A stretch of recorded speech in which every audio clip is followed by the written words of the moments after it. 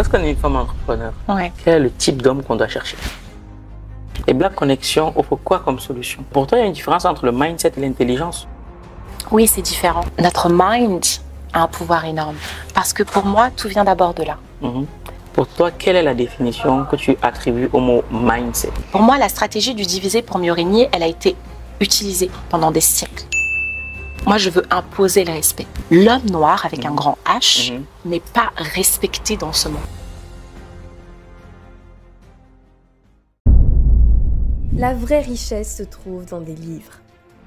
Ce 4 mai 2024, à l'hôtel Hilton de Roissy-Charles de Gaulle, la maison d'édition Argent Livre organise la troisième édition du Week-end de l'écrivain. Assistez à un événement de prestige, célébrez les auteurs et entrepreneurs africains et laissez-vous surprendre par des histoires incroyables.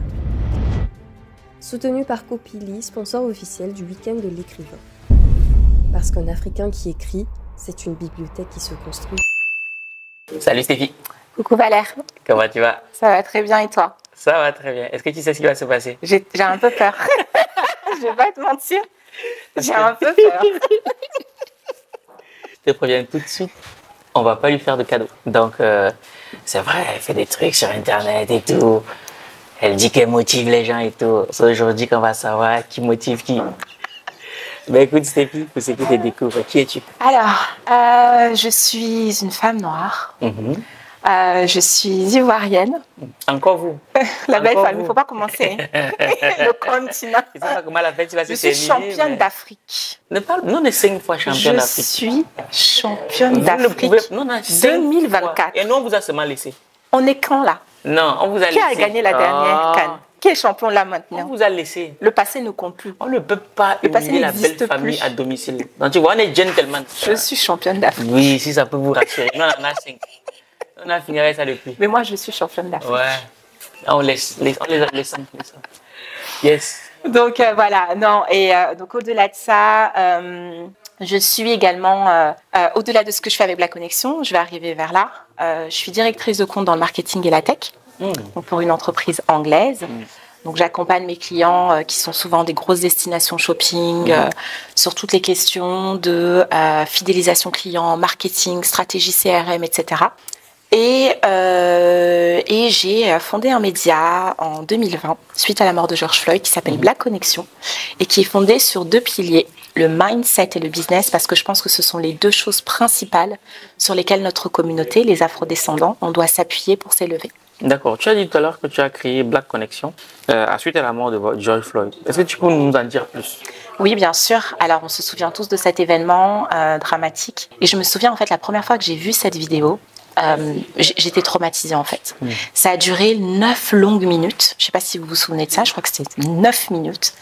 Et en fait, le sentiment euh, que, que, dont je me rappelle, c'était cette... Euh, vous savez, des fois on parle de colère sainte. C'est hmm. pas une colère en mode ouais, genre j'en veux maintenant à tous les blancs ou j'en veux à tous les flics. C'est pas ça. C'est une colère sainte dans le sens où je veux mettre ma pierre à l'édifice en fait. Parce que cette mort, cet homme est mort à cause de la couleur de sa peau. Il n'y a mm. aucune autre raison. Parce que la peau noire, l'homme noir avec un mm. grand H, n'est pas respecté dans ce monde. Et que sa vie ne compte pas autant que celle des autres, en fait. Et moi, je suis pas de, du genre à, à me dire Oh, mais faut que ma vie compte. Il faut que vous sachiez que ma vie compte. Moi, je veux imposer le respect.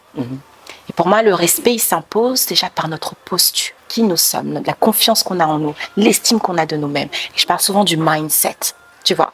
Parce que si je suis ancrée dans mon identité, je sais qui je suis. Toutes ces choses que vous avez fait pour nous diviser, pour mieux régner, là, on va déconstruire ça en fait. Mhm. On va venir construire dessus, tu vois. Et hum, la, la, seconde chose, c'est que je pense que nous sommes dans des sociétés aujourd'hui où si on veut être respecté en tant que communauté, ça va passer par avoir un pouvoir économique. Mhm. Parce que les États qui sont respectés, les, individus, les individus qui sont respectés, les communautés qui sont respectées sont les États, des individus, des communautés qui ont un pouvoir économique aujourd'hui. Mhm. Qu'on le veuille ou non, c'est le nerf de la guerre. Donc c'est important qu'on puisse peser économiquement, qu'on se construise économiquement. Les Américains appellent ça the power of economics. Mhm. The power of economics. Et je pense que si, on prend conscience de ça, il y a énormément de choses qui peuvent changer. Donc moi, c'est vraiment ça. En voyant cette je me suis dit, mais en fait, c'est pas possible. Mais vous pensez, vous prenez pour qui en fait?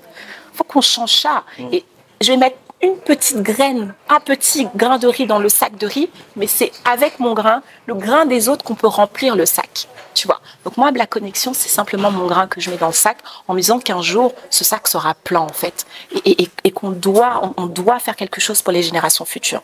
Nos parents ont fait des choses. Moi, le cas de mes parents, et je pense de beaucoup d'entre nous, c'est qu'ils ont quitté leur patrie, quitté leur pays, leur continent, euh, pour venir ici à l'inconnu, souvent traités comme, euh, comme des, des sous-humains parce qu'ils sont différents. Et c'était déjà un sacrifice énorme pour nous permettre à nous de venir dans des écoles ici, nous éduquer, etc. Et aujourd'hui avoir une confiance en nous qui fait que, en fait, euh, euh, Jacqueline ne vaut pas plus que moi. On a fait la même école, tu vois, on se fréquente. Je parle le même français que toi, on parle la même langue. Enfin, tu vois ce que je veux dire? Donc, t'es pas au-dessus de moi. Mm. Je suis pas au-dessus de toi, mais t'es pas au-dessus de moi. Mm. Donc aujourd'hui, il y a des conversations qui doivent être différentes en fait. Et comme je dis toujours, hein, l'amour des miens n'est en aucun cas le désamour des autres. Tu vois. Mais c'est important qu'en tant que communauté, on se construise, qu'on apprenne à s'aimer, qu'on apprenne à s'élever. Donc voilà tout simplement un petit peu la jeunesse de Black Connection. D'accord. Est-ce que ça n'a pas un peu une connotation raciste, black connection? C'est comme une connexion par la couleur de la peau? Est-ce que c'est pas raciste? Imaginons qu'on avait fait white connection. Mhm. Comment est-ce que ça aurait été perçu? Alors, tu sais, euh, si tu veux soigner une maladie, Oui. tu dois prendre un remède qui soigne la maladie. Oui. Comme je, je le répète, hein, cet homme est mort, George Floyd est mort parce qu'il est noir. Oui. Simplement. Il n'y a pas d'autre raison. S'il avait été blanc, s'il avait été une autre couleur, peu importe, je ne pense pas que les choses se seraient déroulées ainsi. Il aurait eu beaucoup plus de clémence. Les, Oui. les policiers auraient eu beaucoup plus de clémence vis-à-vis de lui. Aujourd'hui, peu importe où on va dans le monde, peu importe notre niveau, notre statut social, la seule chose qui fait que les gens vont nous démarquer, la seule chose qui fait que les gens vont nous voir euh, de, de- de- de façon, euh, comment dire, c'est qu'en fait on te voit comme un noir. Je vais dire ça simplement. Oui, tu vois, peu importe Mm, mm, mm. tout ton background, t'as beau être le, le- le roi, euh, un empereur dans ton pays là-bas, euh, tu es noir déjà de base. Ensuite, bien sûr, il y a, euh, par exemple, ton niveau social qui va avoir une différence sur la façon dont on va te percevoir. Euh, il y a ce qu'on appelle, ils appellent ça l'intersectionnalité. Tu vois, ça va même ta religion qui va venir rajouter une couche, qui fait que plus, tu vois, on rajoute des couches, plus on va te stigmatiser. Mais déjà, de base, c'est quelque chose que tu ne peux pas nier et que tout le monde voit. Tu es noir. Mhm, mhm. Et c'est ça, en fait, ce qui fait que tu vas peut-être avoir, euh, euh, faire face à, à certaines difficultés, à certaines réalités, tu vois, qui Oui. sont différentes des autres, en fait, tout simplement par rapport à la couleur de ta peau. Donc il faut arrêter de vouloir détourner le regard de ce qui pose problème, en fait, aujourd'hui.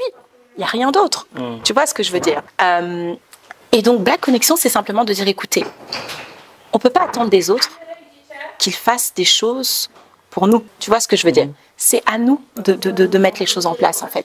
Si on veut que le changement s'opère, si on veut imposer le respect dans notre communauté, si on veut que notre communauté soit vue comme, euh, comme, comme, une, comme une communauté qui est respectée, Oui. comme sont, le sont aujourd'hui les Juifs, les Chinois, partout, on a même peur de dire leur nom. Mhm. Et ça va passer par nous. On va, ça va pas venir des autres, en fait. Tu vois. Et pour moi, la stratégie du diviser pour mieux régner, elle a été utilisée pendant des siècles au sein de notre communauté, Mhm. que ce soit durant l'esclavage, que ce soit durant la, colonisation. Et ça, ça a laissé des séquelles dans notre façon d'agir, les uns vis-à-vis des autres. Tu vas voir Oui. des gens qui vont te dire euh, Ah non, moi je vais pas acheter là-bas hein, parce que là-bas c'est pas la qualité, oh là-bas c'est trop cher. On, a, on est très très dur avec nous-mêmes, tu vois. Sans parler même du rapport qu'on a vis-à-vis de nous-mêmes personnels. Tu vois, le, le, le colorisme, après ça existe dans toutes les communautés, ça. Mais le colorisme, plus tu es noir, plus tu es synonyme de pauvre, plus tu es synonyme de moche, plus, plus, plus, plus, plus, tu vois. Donc le rapport à, à, à nos, à nos cheveux, le rapport à nos traits, à notre africanité. Aujourd'hui, des choses qui changent. Mais avant, avoir les lèvres lipues, avoir le corps, etc., c'était pas des choses qui étaient à la mode. Tout à fait. Tu vois, tout ce qui Oui. était, euh, euh, tout ce qui a trait en fait au côté africain, à l'identité africaine, c'était pas des choses qui étaient à la mode du tout, Mm. tu vois. Donc tout ça pour que tu ne t'aimes pas, parce que pour moi, là, il y a deux choses qui existent, c'est l'amour et la peur. Ok. Quelqu'un qui s'aime, il impose un respect naturel en fait. Mm. Et quelqu'un qui s'aime, il entre dans sa pleine puissance. Hmm, D'accord, ok. Ok, avant d'aller plus loin dans ça, tu aussi à évoquer quelque chose par rapport à Black Connection, parce qu'on va d'abord rester là-dedans. C'était le mindset. Pour toi, quelle est la définition que tu attribues au mot mindset? Mindset, donc déjà c'est un terme anglais. Mind, c'est l'esprit. Mhm. Donc si je décompose le mot, hein, mind, esprit, et set, set c'est un, un verbe qui veut vouloir dire installer, programmer, like set. Donc c'est la façon dont notre esprit est programmé. C'est comme ça que je décrirais le mindset. Et en quoi est-ce que ça a un impact sur la personne qu'on est, sur, sur les projets qu'on lance et même sur l'entrepreneuriat? À quoi est-ce que ça a un impact? Parce que pour moi, tout vient d'abord de là. Mhm. Si tu lances un projet, ça a commencé ici. C'était déjà une, c'était rien qu'une idée, tu vois. Euh, la personne que tu es, c'est défini par ton tempérament, c'est défini par euh, euh, ton caractère, ton comportement, les actions que tu vas poser, et tout ça, ça vient de là. Là, je suis en train de te parler, c'est des choses déjà qui passent par mon cerveau et qui sortent. Tu vois ce que je veux dire? Tout part de là, en fait. Et notre mind a un pouvoir énorme. Je pense qu'il y a beaucoup de choses qu'on peut faire ou défaire, qu'on peut créer ou tuer au travers d'abord de notre esprit. Hmm, D'accord. Donc, Pour toi, il y a une différence entre le mindset et l'intelligence? Oui, c'est différent. Je pense que l'intelligence fait partie du mindset. Le mindset, c'est tout, c'est vraiment comment tu es programmé en fait. Il y a le subconscient, il y a l'inconscient, tu vois, il y a toutes ces choses, les choses là dont tu te rends même pas compte. Tu Ouais. te comportes d'une certaine manière, tu sais pas d'où ça vient. Parce que peut-être que dans ton enfance, en fait, il y a une programmation vraiment. Donc des fois, c'est comme un logiciel. Il faut désinstaller certains programmes et Installer réinstaller de dessus en fait. Tu vois. Ok. Et l'intelligence, c'est un paramètre. D'accord. À mon Et, sens.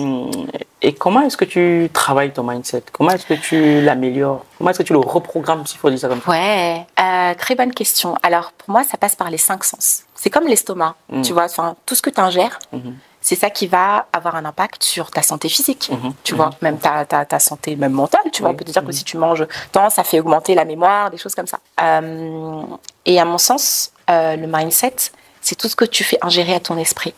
Donc ça passe par ce que tu vois, ça passe donc ça passe par, notamment par la lecture. Oui. Tu vois qu'est-ce que tu laisses rentrer dans ton esprit? Ça passe par les, les films que tu vas regarder, les documentaires que tu vas regarder. Ça passe par ce que tu entends, donc les conversations que tu as. Voilà, avec quel type de personnes tu échanges, qu'est-ce que tu écoutes. Euh, et puis après, bon, ça passe par le, le toucher, les choses comme ça. Mais en gros, qu'est-ce que je fais ingérer à mon esprit? Donc, je suis quelqu'un, j'aime beaucoup lire. Euh, j'aime beaucoup écouter les podcasts. Ça, Oui. c'est voilà. Et les histoires des gens, je trouve qu'on apprend Oui. énormément au travers de ça.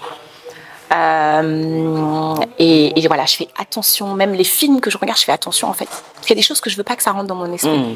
Donc c'est comme ça que je contrôle qu'est-ce qui rentre dans mon esprit. Je vais me, me- me- me documenter sur des choses qui m'intéressent et qui, qui j'ai le sentiment, vont vers l'élévation de qui je suis. Tu vois, vers la construction de la personne que je suis et que je veux devenir, tu vois. Donc, qu'est-ce que je lis Qu'est-ce que j'écoute Qu'est-ce que je fais attention à tout ça? Et c'est comme ça que je construis mon mindset. Mais attention, je suis loin d'être parfaite. Mm. C'est pas parce que je parle de mindset aujourd'hui qu'on va dire que, oh, euh, enfin, qu'elle Mhm. croit qu'elle a. Mais, pardon, beaucoup de problèmes. je suis loin d'être parfaite, Ouais. mais en tout cas, j'ai cette volonté de toujours travailler à devenir la meilleure version de moi-même. Et donc, qu'est-ce que tu lis?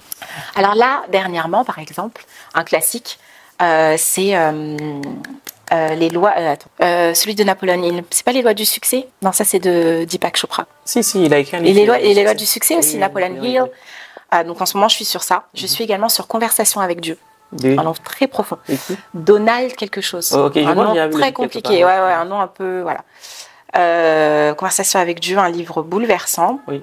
Euh, mon livre préféré, Mhm. un de mes livres préférés, je vais t'en donner deux. Je suis pas en train de les lire actuellement, mais pour tu, tu vois un petit peu le, type de livre que je lis. C'est euh, Les sept lois du succès de Deepak Chopra. Ok, ouais. Je Il est-. Incroyable ce livre. Et, et, Le pouvoir du moment présent De, je connais qui. de Edgar Tolle. Ok. J'ai fait une remarque sur les cinq livres que tu as lus, que tu as lus et que tu lis, Ouais, c'est qu'il n'y a aucun Africain. ouais. Est-ce que ça Non, bah, non bah, je- bah, le livre de Kémy Seba. Oui, non. Le là, dernier livre de Kémy Seba. Bah, bon, je- ah, oui, Là, il y en a six. Oh, Ouais. Ça fait six. Et sur les six, il y a cinq. ouais, ah oui, ouais, ouais. Est-ce que ça crée pas une espèce de dissonance cognitive? Pourquoi? En ce sens où tu défends une cause, Mhm. mais au travers de ce que tu lis, on ne ressent pas que tu défends cette cause-là, que tu mets cette cause-là en avant. À mon sens, non. Alors déjà, je suis d'accord avec toi dans ce sens où je pense qu'effectivement, je devrais lire plus de livres de de- de- d'Africains, Mhm. d'Africaines, Mhm. d'Afro-Caribéens. Ça, c'est le travail que tu fais de pouvoir nous, nous donner, en fait, nous montrer tous ces livres-là. Après, il y a les grands classiques, Mhm. tu vois. Euh, Bon. Permets-moi, selon toi, qu'est-ce qui pourrait expliquer ça? Parce que peut-être que ça se pourrait expliquer victime, ça? victime. Euh, alors, je suis dans une phase, une saison où, tu vois, le, le point commun entre tous ces livres-là, C'est vraiment le soi. Permets-moi. Ouais. Est-ce que la, la démarche de chercher des livres écrits par des auteurs africains qui parlent de soi, est-ce Mhm. qu'elle a été faite? Non. Ah, pourquoi? Après, euh, hmm, j'ai j'ai commencé à lire Cher Anta Diop, mais j'ai trouvé ça compliqué. C'est pas simple. J'ai trouvé ça compliqué, totalement en toute transparence. hein. Non, mais c'est vrai, je pense que chaque n'écrit pas Ah, pour nous. Franchement, voilà. Ouais, donc tu vois, c'est pas pour ça que derrière je veux pas dire que je lis pas les autres, mais pour te dire que oui, j'ai dit non, mais en fait si. J'ai cherché, mais j'ai trouvé ça compliqué. Après, je sais qu'il y en a d'autres, il y en a. J'ai une longue liste de livres que je vais lire, donc je vais arriver là-bas. Là, pour te dire la vérité, je pense qu'il y a beaucoup de hype autour des livres que je t'ai cités, Mhm. et je pense que c'est peut-être ça qui fait que je suis attirée par ce genre de livres. Et de là. Tu vois, tu vas avoir un fil conducteur. Ah, j'ai lu ça, putain, j'aimerais un peu plus creuser sur ce sujet-là. Je vais aller lire un livre qui, qui tu vois, de ce sujet-là. Mais j'adorerais, tu vas pouvoir connaître euh, encore plus de livres d'auteurs africains, africaines, et, et lire plus. Hum, Parce que ça, je vais pas dire que c'est un problème, c'est quelque chose que je rencontre très souvent. Ouais. Moi, je, je- je travaille avec des auteurs, on travaille avec des auteurs au quotidien, et quand tu lis le livre, toutes les références qu'il a sont américaines. Mais du coup, est-ce que dans les livres que je t'ai cités, si tu vois un petit peu le, le Oui, je vois fil le style, c'est conducteur, euh, est-ce que- eh ben, dis-moi des, des auteurs africains. des auteurs, qui, des auteurs africains qui ont écrit dessus. En ce moment, le, celui qui, je pense, est le meilleur, euh, le titre de son livre, c'est, oh, le nom m'échappe, c'est le, le- c'est un truc à rapport avec la liberté, le pouvoir de la liberté. Ça a été écrit par un Nigérien qui vit au Niger, euh, qui s'appelle euh, Amadou quelque chose, j'ai oublié son nom. D'accord. Ce livre, moi, je dis, pour l'avoir lu, c'est le pouvoir de la liberté. Le pouvoir de la liberté. Tu le lis, tu n'as pas besoin de lire Anthony Robbins. Ok. Oui. Mais tu vois, est-ce qu'il est visible? Oui, il fait beaucoup de choses au Niger. Beaucoup, beaucoup. Ok. les- Mais au. Niger, Oui. est-ce qu'il est connu à l'échelle euh, À l'échelle internationale, non. Et bah, justement, ça fait partie du travail qu'il faut faire. Ouais. Et hum, moi, je me dis, on ne peut pas utiliser les mêmes armes aujourd'hui en tant que consommateur que Mhm. les autres. Donc, quelque part, je me dis aussi que c'est une démarche qu'on devrait avoir de chercher. Mhm. Alors, ça doit devenir un réflexe à mode, OK, livre de dev perso, est-ce qu'il n'y a pas l'équivalent? Mhm. Tu vois, c'est aussi une manière pour nous, parce que demain, si tu prends la parole Mhm. et qu'on te dit, OK, parle-nous de deux livres qui t'ont inspiré, Mhm. et que tu cites, euh, je sais pas moi, un américain ou un français. Mhm. Non, je pense Tu que je pense que tu as raison. Après, je dirais, euh, et c'est pas pour me défendre, hein, mais que hum, tous- les bons esprits sont bons à prendre. Tu Je vois ce que je veux dire? Ça veut dire que si tu as un Américain, un Français, whatever, qui a posé sur papier des choses qui sont transformatives, c'est pas parce qu'il n'est pas africain que je vais pas le lire, je vais me, je vais puiser dedans. Je te rejoins. Mais je suis d'accord qu'il est important qu'en tant qu'Africain, Africaine, et surtout qui, qui, le, qui le revendique et qui, qui opère dans ce domaine-là, c'est important d'avoir des références de chez nous. Ça, je te rejoins. En revanche, j'irai chercher les livres de partout. Parce que pour moi, c'est l'essence du livre, c'est l'essence de, de la vision, de l'idée, de, de, de, de, de ce que l'auteur a voulu retranscrire, en fait, qui est important plus que tout. Hum, allez, euh, te rejoins. Ouais. À 2000%. Après, si tu es dans tout ce qui est historique, c'est important d'avoir le point de vue, tu vois, par exemple, du lion, euh, pas du chasseur, tu vois, dans, dans, dans, la savane. Donc ça, euh, là, il y a des choses où là, tu peux pas, ouais, il faut que tu relises des auteurs de chez toi, qui vont te raconter des histoires de chez toi, de comment ça s'est passé ça. Et pour tout ce qui est euh, relatif à- au développement, à la croissance personnelle, à des choses spirituelles, à des choses machin, ça, pour moi, on peut, on peut prendre ça de partout. Ok, ok, ok. Et c'est quoi pour toi l'entrepreneuriat? Parce que tu parles, dans, parles beaucoup de mindset d'entrepreneuriat. Ouais, ouais, l'entrepreneuriat, euh, c'est le fait de résoudre un problème, Mhm. c'est le fait d'apporter des solutions, c'est le fait de répondre à un besoin. Mhm. Euh, et, euh, et de, du coup de mettre au service du marché ce- cette solution. Cette solution. Ouais. Ok. Et Black Connection offre quoi comme solution? Alors, on offre la solution donc au travers des deux piliers, qui- des deux piliers pardon, qui sont le mindset et le business. Le côté mindset, c'est si tu es à la recherche d'inspiration, Ouais. d'histoires inspirantes, de parcours inspirants, tu es au bon endroit. Euh, je trouve que le, il y a rien de mieux en fait que les histoires des autres pour Mhm. nous aider dans notre propre développement. Tu vois. Euh, le fait de se retrouver lors d'événements. Mhm. Le digital, c'est bien, hein, mais être ensemble dans un même lieu, partageant la même vision, avec euh, un objectif commun, une volonté commune, il n'y a rien de mieux. Il y a des choses qui se passent extraordinaires. Tu vas connecter avec des gens, ça peut changer le cours de ta vie. Et toi, est-ce que tu aurais une anecdote à ce sujet? Ouais, j'en ai une. Ouais, j'en ai une. Euh, sans révéler du coup l'identité de la personne, mais c'est Mhm. celle qui m'a le plus marquée. Mhm. Donc lors de notre, événement euh, au mois de septembre, Mhm. euh, donc on avait euh, un, des, un des invités qui était présent Ouais. et qui m'a fait un retour suite à l'événement. Hum, Il m'a fait un audio et honnêtement j'avais les larmes aux yeux. Mhm. Parce que dans cet audio il me disait mais Stéphie, euh, ça fait un moment que je vis une période très difficile. J'ai une période extrêmement difficile. Euh, j'ai pas envie de rentrer trop dans les détails parce que je pense que c'est quelque chose de personnel, même si je ne dis pas le nom de la personne. Mais c'est vrai que très difficile au point des fois de plus en pouvoir en fait, tu vois, et de vouloir mettre fin à tout ça. Et j'hésitais à venir à l'événement, je suis venue et honnêtement, je suis repartie. Ça m'a donné envie de tout déchirer, j'avais tout arrêté. Mhm. Mais, mais, mais sans qu'il est très talentueux, j'avais tout mis de côté, tout mis en pause. J'avais plus envie de rien en fait, j'avais envie de mettre fin. Je suis allée à l'événement, ça m'a redonné la pêche en fait. Stéphie, tu te rends pas compte. Mhm. Qu'est-ce que tu veux dire de ça? Quelqu'un qui te dit je voulais tout arrêter, mais il est venu à l'événement, ça lui a donné la, ça l'a remotivé, il a rencontré des gens, il s'est dit mais en fait, en fait je peux en fait. Tu vois, parce qu'au-delà du business, on a parlé de plein d'autres sujets, tu vois. Et il s'est dit, mais en fait, non. Et quand t'entends ça, tu te dis, waouh, tu vois. Ça va de ça à, je vais à un autre, à un événement, on me dit, euh, ouais, Sylvie, je suis très contente de te rencontrer. Euh, moi, je suis dans l'entrepreneuriat. Enfin, je- aujourd'hui, j'entreprends. J'ai monté cette structure euh, avec ma sœur. Au début, moi, l'entrepreneuriat, c'était pas trop mon truc. À force de regarder tes lives, ça me donne de la force, tu vois. Et c'est comme ça que ça nous a donné la force de monter notre entreprise. D'autres qui te disent que voilà, euh, ça, ils ont vu euh, vraiment euh, les, les- les effets euh, de, de- de la visibilité qu'on a donnée, parce qu'ils ont eu des ventes derrière. Enfin, Mhm. Ouais. tu vois, c'est des trucs comme ça où je me dis, à chaque fois qu'il se passe quelque chose comme ça, ou même quand je finis, des fois on fait des lives Oui. où les gens, euh, donc j'interviewe des gens. Quand je finis, tu vois les commentaires, les, les gens qui t'écrivent après derrière, qui te disent, waouh, ça m'a fait du bien, waouh. Qui te disent, mais Stéphie, ça fait trois semaines que t'as pas fait de live, c'est comment Mm. Je te dis, ok, en fait, ce que je fais, ça a du sens. Ça a en du fait. sens. Ouais. Voilà des petites anecdotes comme ça. Et toi, c'est toi en tant qu'entrepreneur, c'est quoi tes challenges au quotidien? D'abord, Mm. avant d'aller plus loin, Mhm. à quel moment on sait qu'on est entrepreneur?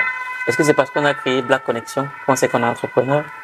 Ou alors c'est parce qu'on a mis un produit sur le marché? À quel moment tu sais que tu es entrepreneur, toi? Je pense que tu sais que tu es entrepreneur quand tu sais qu'au travers de ton produit ou de ton service, tu facilites la vie des gens en fait. Mm. Parce que les gens achètent euh, parce que bah, soit ton, ton produit ou ton service euh, permet de résoudre un problème ou ça répond à un besoin qu'ils ont en fait. Parce que moi, j'achète pas des choses pour acheter des choses, tu vois. Mm. Même si des fois ça peut être très euh, futile et superficiel, c'est la raison pour laquelle tu achètes. Donc, euh, une fois que tu, tu réponds à un besoin, que tu résous un problème et que, et que ton, ton produit a, a de l'intérêt sur le marché, tu sais que tu es entrepreneur. Hmm. Ok, ok, d'accord. Est-ce que ça veut dire que quelqu'un qui vend, euh, je sais pas moi, quelqu'un qui vend des téléphones, Mhm. c'est un commerçant ou un entrepreneur, selon toi? Alors, la, la, la différence que je vois entre les deux, et ça c'est encore c'est ma définition, donc c'est quelque chose de très personnel, un commerçant, il n'a pas forcément eu l'idée. Un commerçant, il achète, il revend. D'accord. Tu Mhm. achètes les téléphones, tu les revends, tu un commerçant. Un entrepreneur, c'est souvent une idée qui va naître. Tu vois, la Mhm. connexion, c'est une idée qui m'est venue. J'ai pas acheté pour revendre, tu vois. Donc, je, une idée qui vient, je crée et je vends. Pour moi, c'est ça la distinction que je fais entre les deux. Ok, tu as si parlé. à Oui, je vois, je vois parfaitement ce que tu Ouais. dire. On va rebondir sur la question de l'idée. L'idée. Ah, l'idée. L'idée. J'ai une idée. L'idée. N'est rien, en fait. hein. L'idée, c'est à rien. Hmm. C'est à rien. J'imagine qu'il y a beaucoup de personnes qui doivent te contacter par moment. Stéphie, j'ai une idée, je veux la lancer, je vais faire mon truc. Tu lui dis quoi? Eh, je lance-toi. C'est tout. Et de dire quoi d'autre? Mais il te dit j'ai peur. Ah, je vais te dire, choisis l'amour. Il n'y a que les deux qui existent. Mais encore? Pour moi, toutes les émotions, les sentiments qu'on peut ressentir, il y a forcément une des deux euh, émotions racines. Soit la- soit l'amour, soit la peur. Mhm. Tu vois, même la colère, c'est la peur. Même le, le quand tu, tu n'aimes pas quelque chose, la haine, tout ça, c'est de la peur. C'est que tu as peur, en fait. Tu vois. Je te dis, choisis l'amour. Tu vois. Et peur de, et peur de réussir un peu. Ça fait quoi? Vous avez toujours peur d'échouer. Et peur de réussir. Mhm. Déjà, commence. Tu vois, Mhm. mais choisis l'amour, l'amour de ce que tu fais. Pourquoi? Et puis, une chose, le regret, en fait. Je ne sais pas si tu as déjà entendu parler de cette étude où ils ont euh, un petit peu sondé, interviewé des personnes qui sont sur leur lit de mort Oui. par rapport à leur vie. Mhm. Et en fait, ce qui revient dans, dans ce sondage, c'est que les gens, par rapport à leurs regrets, et ce qui, ce qui revient beaucoup, c'est que les gens regrettaient beaucoup plus les choses qu'ils n'avaient pas faites que les choses qu'ils avaient faites. Je regrette de ne pas avoir passé plus de temps avec ma famille. Je ne regrette de ne pas avoir fait ce voyage dont j'avais toujours rêvé. Je regrette de ne pas avoir passé, euh, de ne pas avoir euh, euh, investi plus en moi, de ne pas avoir appris de nouvelles langues. Tu vois, c'est toujours les choses que tu n'as pas faites. Quand tu fais quelque chose, ça prend, ça prend, ça prend pas aussi. Mais moi, tu as vu le résultat. Mais tu ne fais pas. Tu vas arriver à la fin. Tu vas te dire, mais et si j'avais fait? Et le et si là, il te ronge en fait? Parce que ça, c'est trop tard. Tu ne Mm. pourras plus jamais répondre à la question. Et si j'avais fait ça, qu'est-ce qui se serait passé? Ah ah Fais, fais, et comme ça, tu vois ce qui se passe. Donc moi, je- j'en parle toujours, je parle vraiment du regret. Je, suis pas- je suis quelqu'un, je n'aime pas regretter. Mhm. Je pense qu'il n'y a rien de pire que le regret, tu vois. Donc j'en remets, je remets toujours ça au centre de la conversation avec les personnes qui vont me dire qu'elles ont peur. C'est choisis l'amour en fait. Mm. Et dis-toi qu'il ne faut pas que tu regrettes quoi que ce soit. Ah, beau. Et, et Karamo dit quelque chose, euh, une phrase que j'ai- j'aime beaucoup, j'ai toujours retenue, c'est que la peur a tué plus de rêves que l'échec lui-même. Mm. Et une mi- multimilliardaire que je connais dit s'il a peur d'échouer, il a encore plus. Si, si, s'il est difficile de, de- d'échouer, il est encore pire de ne jamais, de ne jamais avoir tenté de réussir. Donc, euh, ouais, ouais, ça se tient. Parlons d'argent. Ça représente quoi pour toi l'argent? Ah, la réponse bateau que tout le monde va te donner. Euh, L'argent, ça, ré- ça représente le choix. Mhm, Parce que quand tu as l'argent, tu as le choix. Ça représente la liberté. mhm, Ça représente, euh, ça représente le pouvoir. mhm. Ouais, D'accord. Ok. Liberté, pouvoir et, choix. et le choix. D'accord. Et hum, ce que tu n'as pas vu venir, c'est que Et- je voulais ensuite chuter sur l'argent dans le couple. C'est la suite logique. la suite logique. Ok. Euh, très souvent, lorsque l'homme gagne plus d'argent, il dit qu'il cherche, la, il cherche à mettre bien sa femme. Et lorsque la femme en gagne plus, elle dit Je n'ai pas besoin d'un homme. Hmm. Tu en penses quoi? Je pense que la femme ne devrait pas dire ça, Mhm, à moins qu'elle n'ait vraiment pas besoin d'un homme. hein. mhm, Mais euh, l'argent, c'est une chose. La relation dans le couple en est une autre. Euh, c'est pas ton argent qui va te rendre heureux. hein. mhm, Tu vois, ça participe énormément. Donc, cherchez votre argent. Moi, je cherche mon argent en tout cas. mhm. Ça participe énormément. Cherches un art. J'ai mon argent, Un j'ai le jet. mais mais c'est pas ce qui va te rendre heureux en fait. Euh, je veux dire, à la fin de la journée, tu peux euh, avoir beaucoup d'argent. Et moi, je sais qu'en tant que femme, j'ai j'ai besoin de, de pouvoir euh, me confier à un homme, sentir qu'il y a un homme qui m'écoute, qui, like, he roots for me. Tu vois, à la fin de la journée, d'aller se, se- te, te blottir dans ses bras et être qu'une femme, en fait. Mhm. Tu vois. Et j'ai écouté une vidéo récemment d'une femme qui, a, je pense qu'elle a, elle a pas mal expliqué ce que je pense de ça.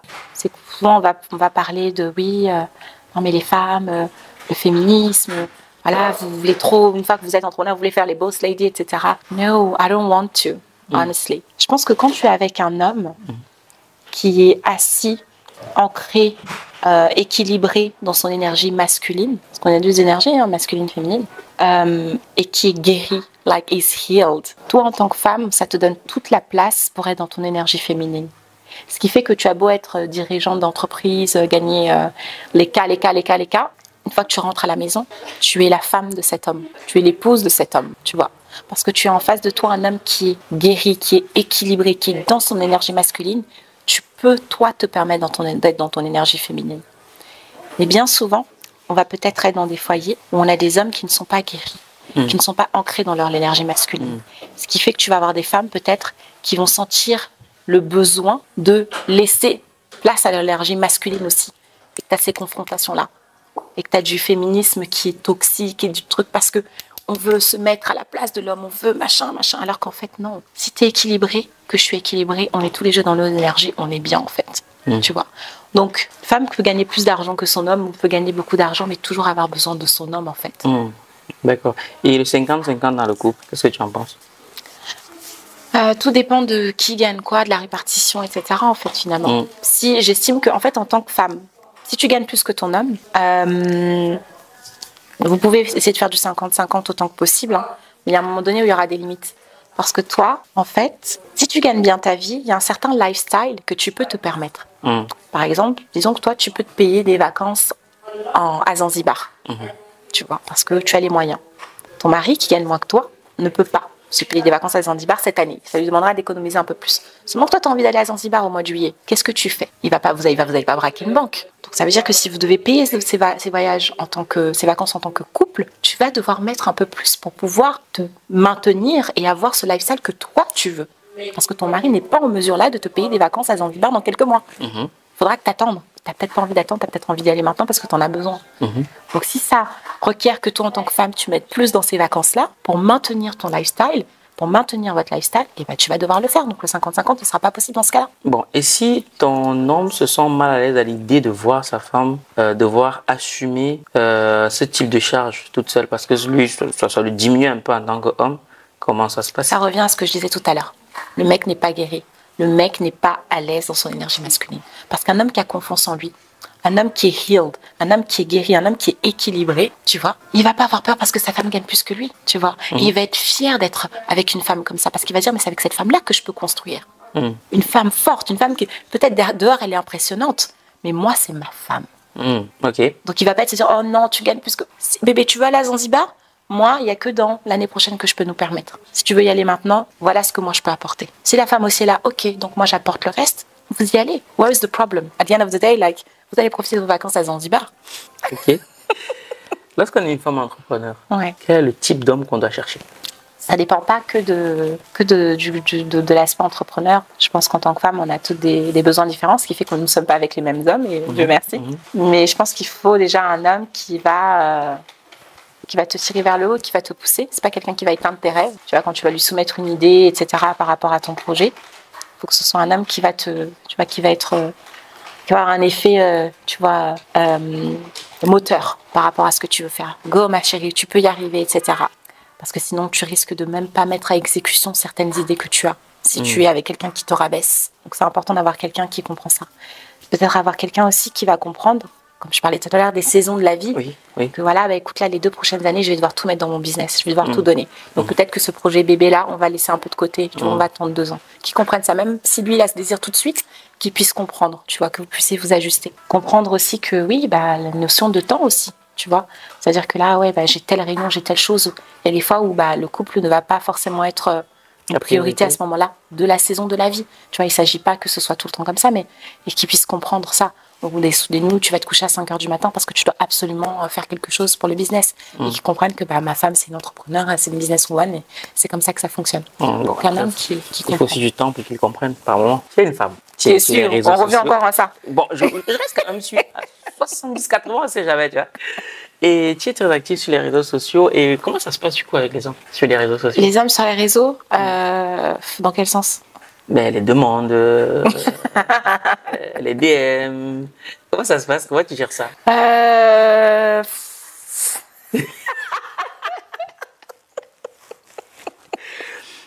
Tu gères ça? Euh, Comment je gère ça? Je remercie gentiment. Hmm.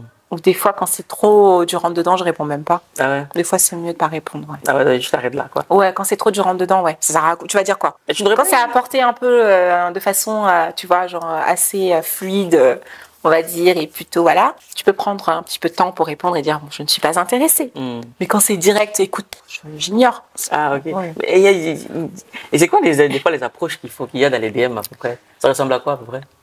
T'as de tout, hein. ça Ouais. dépend, c'est ça va. Il y a autant d'approches qu'il y a d'hommes. Hein. Euh, Bon, vas-y, il y, a- y a quand même des approches qui t'ont marqué plus que d'autres? Alors déjà, ceux qui arrivent avec un euh, ça va, des S-A-V-A, Pas de discussion? pas de discussion, c'est là je réponds non, après, tu as, ceux qui vont avoir une approche euh, très directe, comme je disais. Euh, je te veux, j'ai déjà eu ça. Non, mais je te Ah veux. ouais? Ah, Direct comme ça? ah ouais, direct. Ah ouais, il n'a pas pour yeux. Ah, bah. Je réponds pas en fait. Me- bah, voilà. Donc, tu as les gens très directs. Mhm. Ça, c'est un des exemples. Tu as les, t'as les gentlemen. Tu vas avoir Mhm. les gentlemen qui vont, euh, ils vont pas forcément, euh, tu vois, ils vont vouloir un petit peu avoir des conversations avec toi. Ça, c'est les plus intelligents parce qu'ils vont te parler d'un truc. Ah, ça me, fait, ça me rappelle une histoire, ça, oui. Ils vont te parler d'un truc, un machin. Donc, du coup, forcément, tu réponds. ouais. Tu vois, parce qu'ils vont pas parler de toi, Mhm. de ton physique ou Mhm. de, Mhm. de, de l'attirance qu'ils ont pour toi. Et puis après, c'est plus tard que tu découvres que, ah, ok, c'est là où tu voulais m'emmener. Hmm. Mais du coup, ça ne te rend pas un peu méfiante, du coup, dès qu'on t'envoie un message? Parce que moi, j'ai eu ce problème-là. Des fois, j'ai même peur d'envoyer un message à une fille sur, sur les réseaux. Non, parce que là, tu m'as parlé, on parle de des hommes qui t'approchent pour ça, mais j'ai eu des hommes avec qui que j'ai rencontrés sur les réseaux, Mm. avec qui j'ai des, des bons, des bonnes relations aujourd'hui. Et c'est pas du tout, euh, c'est pas toutes les relations hommes-femmes sur les réseaux qui sont qui sont destinées à être des relations euh, comme Mm. ça, tu vois. J'ai rencontré des hommes sur les réseaux, ça se passe très bien. Ok, Tant d'accord. que tu arrives, euh, bonjour, euh, si tu étais venu me voir sur les réseaux, euh, bonjour Stéphie, je m'appelle Valère, j'ai un projet qui s'appelle Argent Livre, on fait ci, on fait ça, je souhaiterais te convier à une interview. Bien sûr, j'ai déjà fait des interviews, t'es invité, aucun problème avec ça. Ah, ok, parce oui, que bien déjà sûr. eu. Et si tu arrives à mettre coucou, ça va Déjà, tu t'arrives, tu dis même pas vraiment ce que tu veux et avance. Dis-moi ce que tu veux, tu vois déjà. non, je te jure, moi, je. Ouais. Ouais, tu sais, bon, ça, coucou, ça va? Ben écoute, euh, euh, j'apprécie beaucoup. Euh, je, je sais pas, je sais pas, t'arrives. T'es- t'es pas, t'es pas direct en fait. ouais. sait pas ce que tu veux, C'est pas trop ce que tu veux là. Là, on peut se dire, ah, est-ce que, est-ce qu'il, qu'est-ce qu'il veut vraiment? mm, mm, mm. Mais si t'es clair sur tes intentions dès le départ, pas de raison. Hmm. Ok, ok, ok. Ouais. Tu sais, ce sont des questions qu'on se pose souvent et tout. Il y a souvent des anecdotes un peu, un peu loufoques, quoi. Et hum, du coup, on va rentrer dans le dernier volet. C'est tout ce qui concerne la religion, la spiritualité Mhm. dans les affaires. Dans les affaires. Wow. Est-ce que tu penses qu'il y a une part spirituelle ou religieuse dans l'entrepreneuriat? Totalement. Mais encore. Je pense qu'il y a une part spirituelle. Euh, déjà, je différencie la religion de la spiritualité. Moi, par exemple, je me considère plus spirituelle que religieuse. Mm. J'ai été à un moment donné de ma vie religieuse, je me considère plus spirituelle à, à- à présent. Il y a forcément une part de ça parce que tout ce qui est spirituel et religieux a trait à la foi. Ok. C'est mhm. le fait de croire, Oui. tu vois. Et, euh, et l'entrepreneuriat demande beaucoup de foi. La foi en soi-même, la foi en ton projet, la foi en la vision que tu portes, la foi au résultat que tu peux obtenir, tu vois. Et hum, pour moi, tout ce qu'on manifeste aujourd'hui dans le matériel est d'abord immatériel, tu vois. Et en tant qu'entrepreneur, je pense que c'est important, enfin en tout cas ça facilite énormément de pouvoir s'accrocher, Mm. tu vois, à quelque chose de plus grand que nous. Et de se dire que tout arrive pour une bonne raison. Moi, en tout cas, c'est mon motto. Mm. Like, c'est vraiment mon motto de me dire que tout arrive pour une bonne raison. C'est ce qui m'aide à tenir dans les moments extrêmement difficiles de ma vie, que j'ai pu vivre et que je, tu vois, je vis. C'est que tout concourt à mon bien. Je ne comprends pas tout, mais it's gonna be fine. Et ce bigger purpose, ce- cette chose qui est plus grande que moi, c'est où est-ce qu'elle m'emmène en fait. Hmm, D'accord. Ok. Et dans, dans, ce que, dans, dans ce que tu donnais de la description de la spiritualité euh, dans les affaires, tu as parlé de confiance en soi. Mhm. Et hum, il se trouve que très souvent, euh, c'est un problème qu'on rencontre chez les femmes. Ouais. Ouais, ce qu'on disait tout à l'heure. ouais. Ouais. Et qu'est-ce que, euh, comment, qu'est-ce, quel est le conseil ou l'astuce que tu donneras à une femme qui manque de confiance en elle-même? Je- Déjà, je ne sais pas si je suis la mieux placée pour donner ce conseil-là. Euh, je pense que c'est comme un muscle, ça se travaille, mais moi j'y travaille. hein, tu vois, Mhm. je peux pas dire que j'ai euh, j'ai trouvé euh, la clé de la confiance en soi, tu vois. Je pense que c'est comme un muscle, ça se travaille. Je dirais que, en fait, la confiance en soi, en ce qu'on est capable de faire, ça s'acquiert par l'expérience. Hmm, Si tu as peur de faire quelque chose, tu ne vas pas avoir confiance en toi par rapport Mhm. à ça, en fait, fais-le. hmm, Parce qu'une fois que tu vas le faire, tu vas te rendre compte que tu en es capable. Et ça va construire ta confiance en toi. Et dans ton cas, ça s'est manifesté comment, toi? Par exemple, la prise de parole en public. Ouais. J'étais du genre, euh, euh, avant, euh, putain, mais tu me demandais de parler en public, mais j'avais peur. J'avais peur. Et, et je voyais vraiment, quand je voyais des femmes qui étaient droites dans leurs bottes, charismatiques, qui prenaient la parole, avec leur micro, I was like, wow, I love it, tu vois. Et je trouvais ça hyper inspirant. Et à force de me nourrir de ça, de regarder ça, lorsque j'ai eu l'opportunité pour la première fois, bah, je me suis dit, je vais le faire en fait. hmm. Et je l'ai fait. Et aujourd'hui, je parle. Je suis amenée à beaucoup parler en public. Maintenant, je suis même maîtresse de cérémonie sur ouais, des événements. stylé. Tu vois, tu te dis, mais. Et je me revois, y a- pas, plus tard qu'hier, j'étais à un événement, j'ai pris la parole devant, je pense qu'il y avait peut-être 1000 personnes. Ah oui, non. Tu vois Et j'étais hyper à l'aise. Pas que j'avais pas peur au départ, je avant de monter sur scène, t'es. Tu as besoin de respirer un peu, tu sens la petite pression, mais dès que tu prends le micro, boum, c'est parti. Mm. Tu vois Mhm. Mais il y a quelques années, je me serais pensée incapable de le faire. Et si je ne l'avais jamais fait, je serais. Je penserais toujours que j'étais incapable de le faire. Mais c'est en l'ayant fait que j'ai réalisé qu'en fait, bah, je peux le faire. Et plus je le fais, plus je suis à l'aise, plus machin. Et aujourd'hui, bah voilà, c'est ça fait partie même des choses que je fais, des choses pour avec lesquelles je gagne ma vie. Donc, parce que je l'ai fait. Donc vraiment, je pense que la confiance en soi, tu la construis aussi par l'expérience. Donc demain, si on me demande encore de reprendre la parole en public, bah, je vais encore le faire parce que je sais que je l'ai fait hier. Ouais. Tu vois? Bah, en gros, il faut être dans l'action. Saisis les opportunités, fais-le soit dans l'action. Ce qui te fait peur, fais-le. Ce qui te fait peur et que tu as envie de faire, fais-le. Hmm. Tu vas réaliser que tu es capable. Et du coup, tu vas construire ta confiance en toi sur ce sujet-là. Hmm, très intéressant, très très intéressant. Et donc, euh, la confiance en soi, projet, ça a mené à Black Connection et tout le bazar. Euh, Tout le bazar. Ouais, bon, et tout ce qui Ah, va pas avec. et tout ce qui va avec, désolé, c'est une expression que j'ai Non, l'habitude d'utiliser. Concrètement, depuis que tu as lancé Black Connection, qu'est-ce que ça t'a apporté? Énormément de choses. Alors déjà, j'ai déjà, je pense que j'ai interviewé euh, peut-être une- pas loin de 70 personnes, hein, entre 70 et 80 personnes peut-être. J'ai jamais Mm. compté, mais si je me mets à compter, je pense que ouais. T'imagines Tu parles mal. avec 70, 60, allez, ouais, 70 personnes hyper inspirantes, qui ont des parcours inspirants. Même toi, là, regarde toute la conversation qu'on a eue, tu vas peut-être partir avec deux, trois trucs. Mmh, Moi, l'échange qu'on a eu, je repars avec deux, trois trucs. Donc tu multiplies ça par le nombre d'échanges que j'ai avec des, des personnes qui, qui, qui, qui ont un impact aujourd'hui dans notre, dans notre communauté, dans le monde. Euh, donc j'apprends énormément parce qu'en plus on, on, on, on balaye plein de sujets différents. Mhm. Donc ça m'app- ça m'apporte personnellement dans, dans ce que je, je, je- dans mon niveau de connaissance en fait par rapport à plein de sujets. Donc il y a ça, ça crée mon réseau aussi parce que du coup aujourd'hui je suis connectée avec plein de monde dans Mhm. différents secteurs. Donc ça c'est énorme. Ça m'a permis de sortir de ma zone de confort, tu vois, euh, de faire des choses que je pensais pas que j'étais capable de faire. Et, euh, et ça m'a permis de, d'une façon ou d'une autre, contribuer à ma mission de vie Mmh. qui, en quelque sorte, est un des paramètres, c'est d'avoir un impact positif dans la vie des gens, au travers de qui je suis, parce que j'estime que on ne vit pas pour soi. Je pense que nous sommes des êtres interconnectés et qu'on a tous un rôle positif à jouer dans la vie des autres, tu vois. Et au travers de la connexion, au travers du contenu qu'on partage, au travers de ce qu'on fait, euh, des événements, etc., eh ben, on a un impact positif dans la vie des gens. Et il n'y a rien de mieux que de se coucher en ayant la paix du cœur de se dire aujourd'hui j'ai permis de faire sourire quelqu'un ou de faciliter la vie de quelqu'un ou de faire du bien à quelqu'un dans sa vie en fait. Pour moi, c'est il n'y a pas meilleur sentiment. Mmh, je te rejoins tout à fait. Je te rejoins tout à fait à 2000% par rapport à ce que, à ce que tu viens de dire.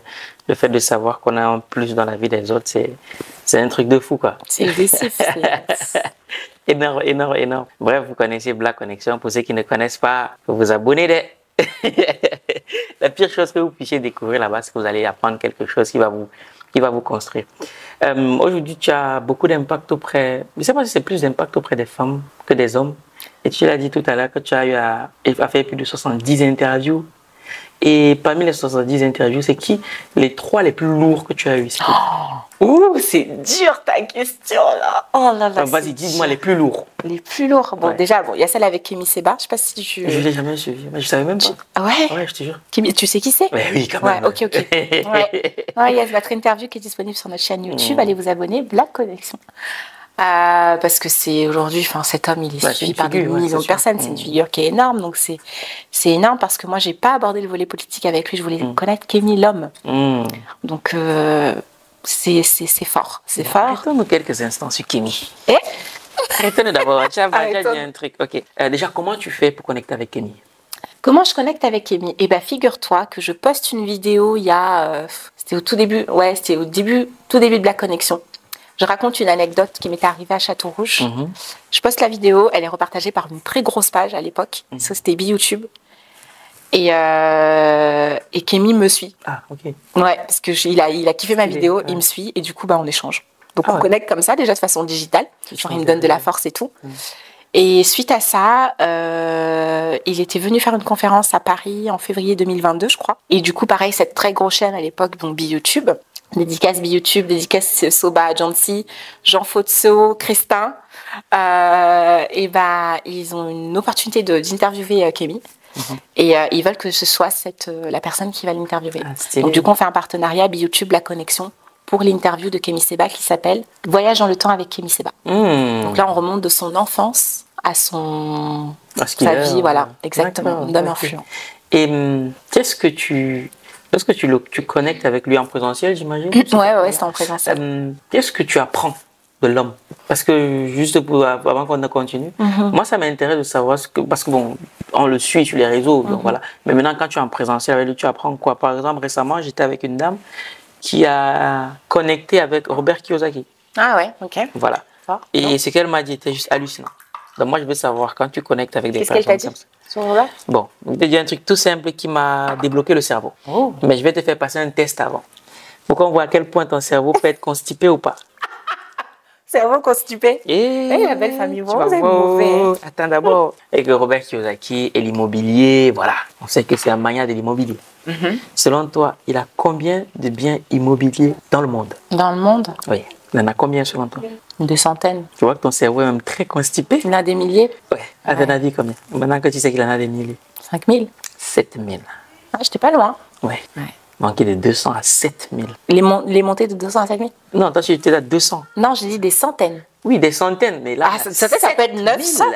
Mais 900, euh, 7000 Oui, 7000. Waouh Et ça, c'était en 2019. Nous aussi, on va arriver là-bas. Ouais.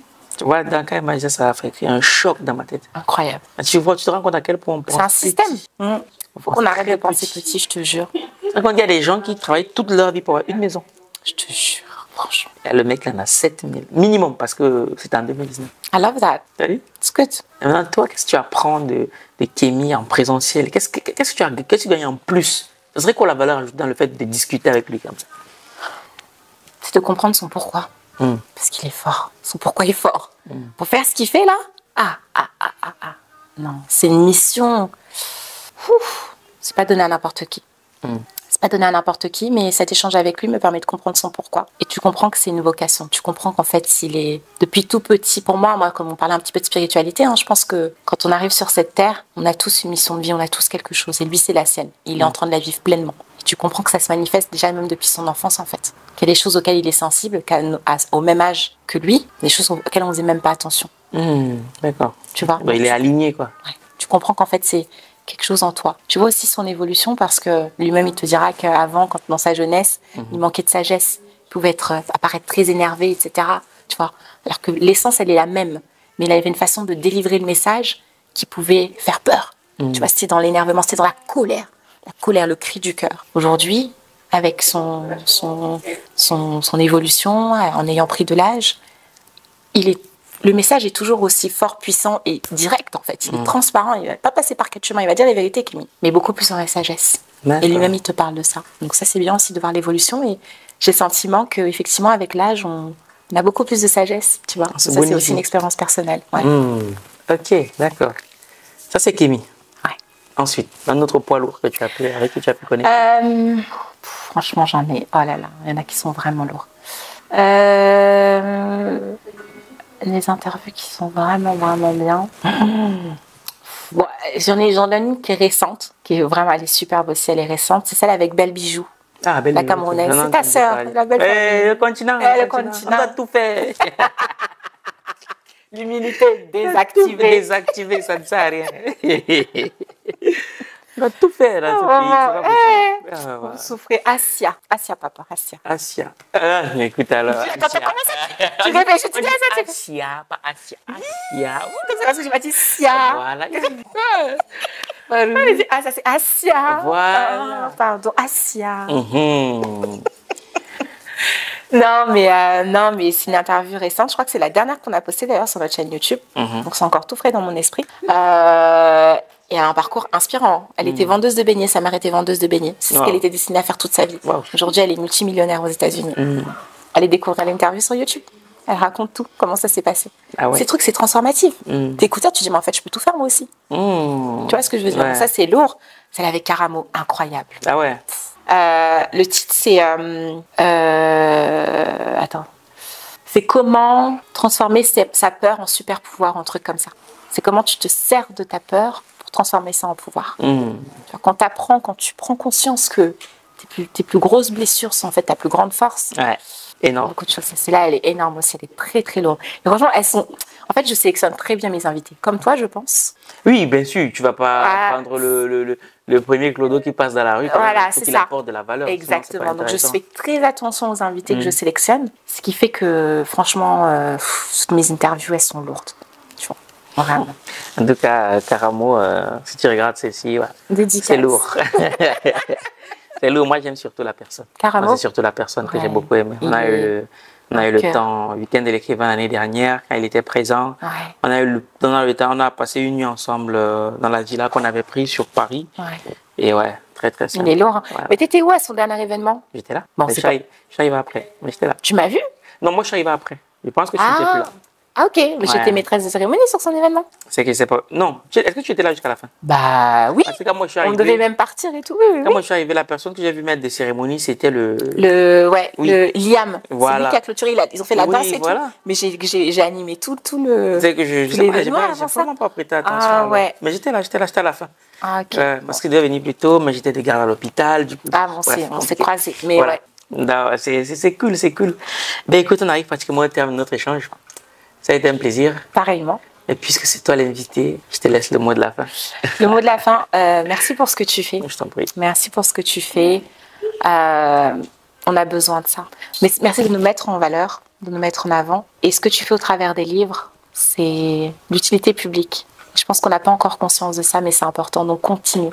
Mm. Peu importe les hauts, les bas. Je sais que c'est pas facile tous les jours, mais continue ce que tu fais. Continue à avoir cet impact positif dans nos vies et dans la vie de ton audience, qui au travers des différents profils que tu les fais, que tu leur fais découvrir, permettent de voilà d'avancer dans leur propre parcours. Donc bravo et merci. Amen. Au pluriel, on dit amener. et Bon. puis euh, voilà. Mais pour ceux qui, qui t'ont écouté aujourd'hui, s'il y a une chose que tu aimerais qu'ils retiennent, ça serait quoi? Choisissez toujours l'amour. Voilà. Il y, a, tou- il y a deux choses qui existent dans tout, tout ce que vous faites. Euh, la pensée racine sera toujours entre l'amour et la peur. Choisissez toujours l'amour dans tout ce que vous faites. Et N'ayez pas de regrets. Eh, c'est que nous, nous sommes des gars qui avons grandi dans le bara. Nous, on a gagné dans le quartier, bien bouillaricot. Donc, quand on commence avec les choses amour, amour, là, nous, on est bizarre. Nous, on est, comme Arafat disait que nous, on est trop niais pour ça. Tu vois, ben non. Mais bon, Je sais que tu, tu comprends très bien ce que mais bien sûr que je comprends. On a demandé de choisir l'amour. On va faire comment? Allons seulement. Allons, va. Allons seulement.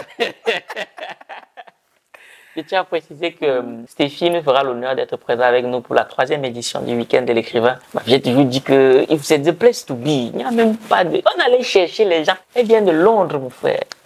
Spécialement pour l'événement. Elle est vrai truc. Venez. On venez connecter. On est quelqu'un derrière quelqu'un. Donc maintenant, je connais quelqu'un qui connecte Emi Seba. Donc,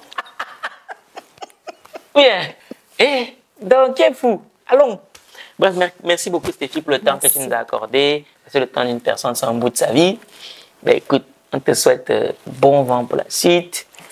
Et puis, euh, allons seulement. Allons, ça le va. Coup du marteau. Gang, gang, gang.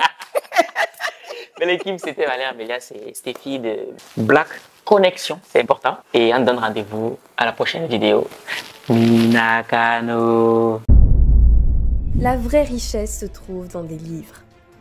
Ce 4 mai 2024, à l'hôtel Hilton de Roissy-Charles de Gaulle, la maison d'édition Argent Livre organise la troisième édition du Week-end de l'écrivain.